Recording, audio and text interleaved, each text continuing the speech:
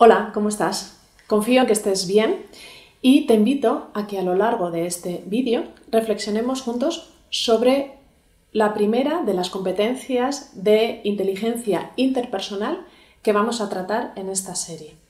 La inteligencia interpersonal, recordamos, que es la capacidad de comprender, de entender las emociones de los demás y poder incorporarlas en nuestra forma de actuar para gestionar nuestra relación con los demás de una forma adecuada. La primera de las competencias que vamos a tratar de inteligencia interpersonal es la empatía. ¿En qué consiste la empatía? La empatía es la capacidad de comprender, de entender las emociones, los sentimientos, las motivaciones de los demás. Es esa capacidad de poder ponernos en el lugar de los demás y entender sus comportamientos, sus actuaciones con su situación, no desde nuestro prisma, sino desde el suyo. Es, por tanto, una capacidad que requiere un esfuerzo importante. Requiere no juzgar con nuestra forma de ver o de hacer las cosas, sino comprender, intentar comprender al máximo la situación de los demás desde su punto de vista. ¿Cómo podemos ir desarrollando o entrenando la empatía?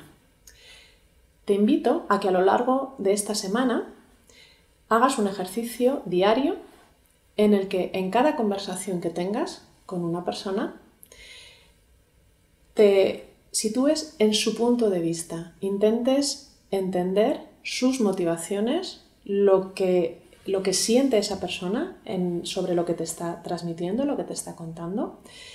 Intenta apagar tu radio interior, esa radio que siempre te está diciendo qué es lo que tú harías, qué consejo le darías, cómo hubieras actuado tú. No des consejos, simplemente escucha, presta atención a lo que te está diciendo. Intenta entender también no solo lo que te dice con las palabras, sino lo que te está transmitiendo con su lenguaje corporal, con su tono de voz, lo que se, se lee entre líneas. Intenta entender todo eso en esas conversaciones y centrarte en la persona, sin juicios, sin esperar a que acabe para poder dar tu opinión, sino simplemente escuchando de forma muy activa o empática. Al final del día, te invito a que tomes lápiz y papel y anotes algunas reflexiones. ¿De qué te has dado cuenta a lo largo de estas conversaciones, actuando de esta forma? ¿Qué te ha permitido observar? ¿Cómo te has sentido? ¿Cómo crees que la otra persona se ha sentido durante la conversación? Te invito a que hagas todas estas reflexiones y a que nos veamos en el siguiente vídeo. Y recuerda, seguir desarrollando tu talento para alcanzar tu mejor versión.